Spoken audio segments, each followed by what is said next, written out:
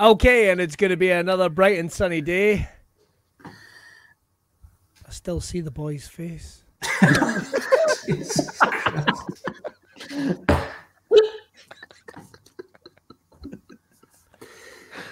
All right, now it's over to Peter Campbell with the outside weather, where I understand he's punching himself in the Peter.